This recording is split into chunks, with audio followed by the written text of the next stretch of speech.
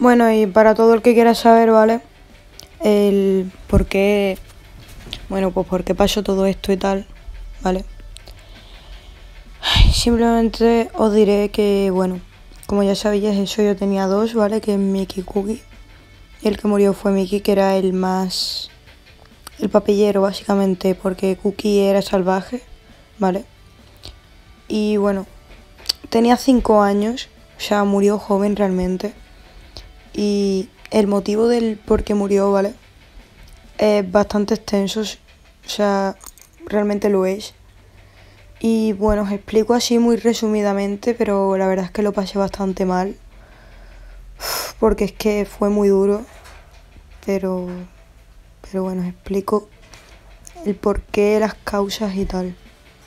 Bueno, la verdad es que era un pájaro que nunca había tenido un problema de salud. Es curioso, pero era un pájaro muy sano, muy activo, muy feliz. Se va todo el día piando, ¿no? O sea, no sé. Pues resultó que un día me lo vi en el suelo de la jaula durmiendo. Cosa que me extrañó bastante porque no solía dormir en el suelo de la jaula. Solía dormir en un nido coco que tenía, no sé, en, los, en las perchas, ¿sabes? Pero nunca en el suelo. Y lo cogí tal y digo, pero oye, y lo veía súper apagado y lo puse en el comedero y comía pero con desgana. ¿Sabes? Y a mí me extrañó bastante. Eso fue una mañana antes de irme al instituto. Cuando volví, lo volví a ver dormido en el suelo de la jaula. Bueno, no, perdón. Lo vi dormido en el comedero. Y me extrañó mucho porque digo, tendrá hambre, yo qué sé.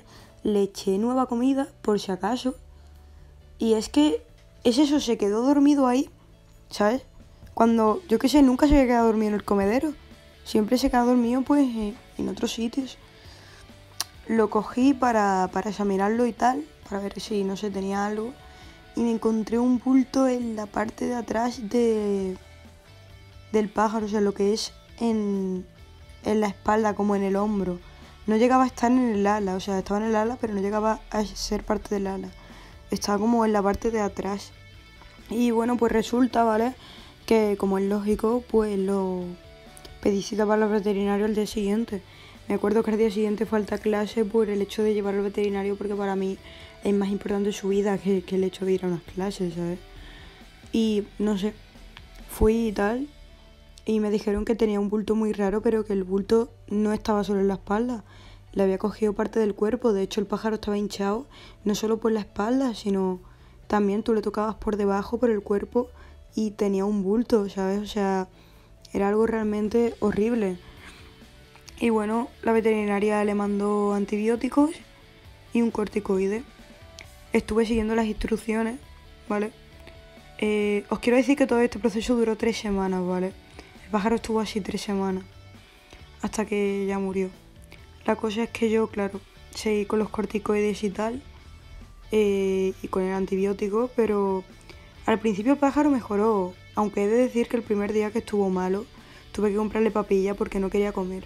Pero ya cuando le di los antibióticos y tal, empezó a comer, que le compré panizo, empezó a como animarse más y yo me puse muy feliz porque pensaba que se estaba mejorando, ¿no? O sea, vosotros realmente si veis a vuestro pájaro que está malo y de repente veis que come, que pía más y que se mueve más, os pondréis igual. O sea, no sé, me emocioné por eso, ¿no? Pero, pero bueno, se llevó realmente muchos días mejorando. Sí, muchos días que parecía que la cosa iba mejor, que parecía que el bulto bajaba, no sé. Claro, la veterinaria me dijo que, el bulto podía ser dos cosas, o cáncer o un bulto de push. En las aves, ¿vale? La push se calcifica, por lo cual si era de push, era push calcificada, era push dura. La cosa es que al día siguiente de ese tuvimos que llevarlo otra vez al veterinario y, y le abrieron el bulto, ¿vale? Le abrieron el bulto y bueno, pues lo que encontraron era que no era un proceso cancerígeno a simple vista, porque claro, se lo abrieron por arriba, porque no podían abrirle el bulto que tenía dentro, lo abrieron por, la espalda. Y eso que me dijeron que tenía pues push calcificada, pero que no veían nada cancerígeno. Entonces yo pues me puse feliz, digo, buah, pues entonces se pondrá bien, se curará y tal. Y yo, pues claro, me daban fe de que el pájaro se iba a poner bien. Y yo sé que ellos también lo pensaban, ¿sabes? Realmente fue todo muy raro. Entonces, claro, después de eso, Obviamente tenía una herida, le tuve que curar la herida, ¿sabes? Le, tuve que, le tenía que echar betadine todos los días, porque claro, ya le habían hecho una herida para ver lo que era el bulto tal. Y bueno, recuerdo que el pájaro pues seguía mejorando día tras día, cada vez estaba más espabilado tal, hasta que, bueno, un fin de semana, recuerdo que fue un domingo después de una semana de tratamiento. Eh, bueno, no, eso fue después de dos semanas. Empezó a a respirar costosamente. Eh, no sé, realmente todo este tiempo que yo estaba hablando, el pájaro estaba mejorando, el pájaro estaba bien, el pájaro comía, el pájaro estaba activo. No podía volar por un bulto que tenía, pero es que parecía que cada vez volaba más. Es más, es que parecía que iba a ponerse bien. Hasta que, bueno, llegó un domingo, que después de dos semanas, creo, sí, después de dos semanas, llegó un domingo en el que el pájaro pues amaneció un poco resfriado, ¿no? Yo pensaba que era resfriado, realmente nadie sabía lo que era. Y bueno, pues de nuevo, el, al día siguiente lo llevé al veterinario, porque yo la verdad es que es que no sabía qué le pasaba. Porque no es que estuviese resfriado y ya está, no es que echase mocos y ya está. Es que empezó a no poder respirar, empezó a respirar por la boca. Pero horrible, o sea, empezó a respirar que es que no podía, tenía que respirar por la boca, hacía un pito cada vez que respiraba. Bueno, es que le costaba comer porque no podía respirar. Horrible, o sea, y eso fue de la nada, de la nada, porque yo todo, durante todo este tiempo continuaba con los antibióticos, continuaba haciéndolo todo, o sea, fue absolutamente de la nada. El bulto era ese que veis en las imágenes.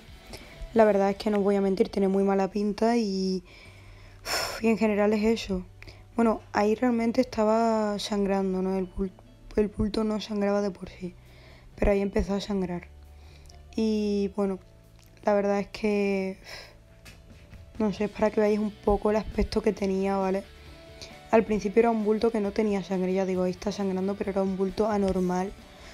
Tenía una calva gigante que yo me pensaba que, es que se había arrancado la pluma de esa zona. Pero claro, yo cuando vi el bulto es cuando decidí llevarlo al veterinario. Entonces, yo qué sé.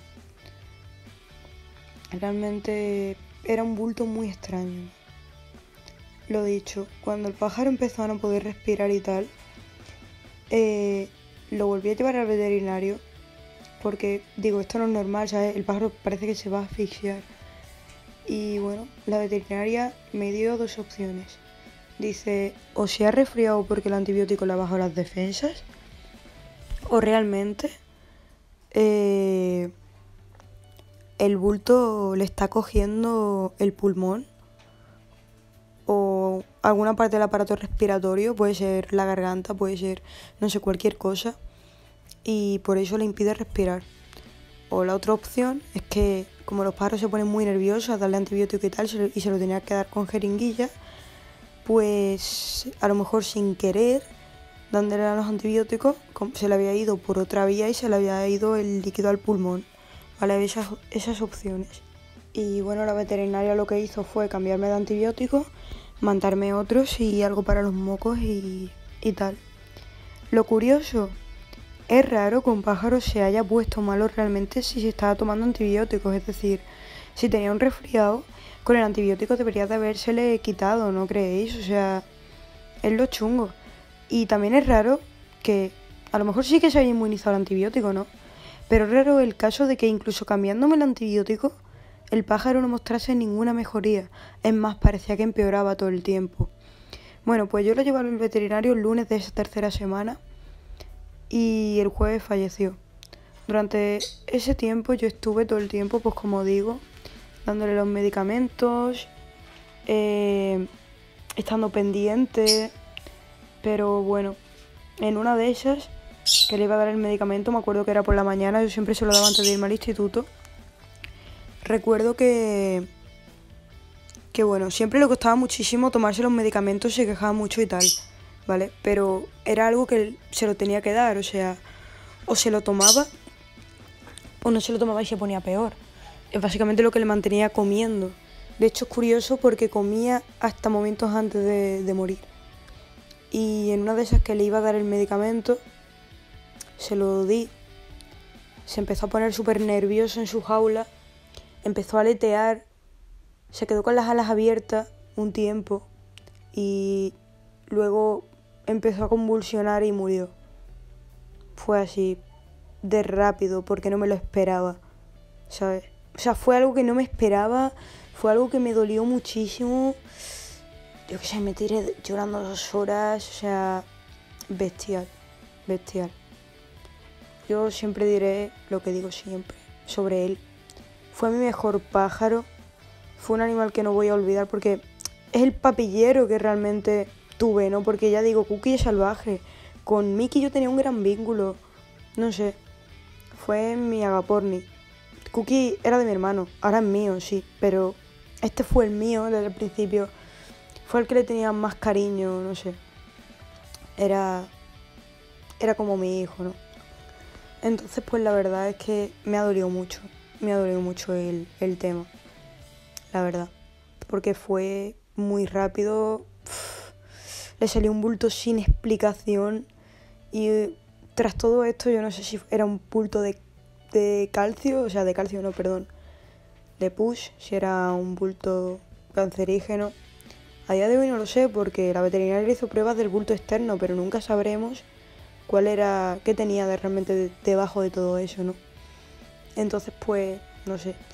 A día de hoy no sé si murió por un cáncer, si murió por ese resfriado que se le complicó por el bulto, o si murió de de estrés, ¿sabes? De un ataque de, de estrés por el medicamento. A día de hoy no lo sé. Solo sé que fue mi mejor pájaro y que lo voy a echar de menos siempre, la verdad. Pero siempre. así que bueno, lo dicho, iré subiendo vídeos cuando me vea en condiciones, ¿sabes?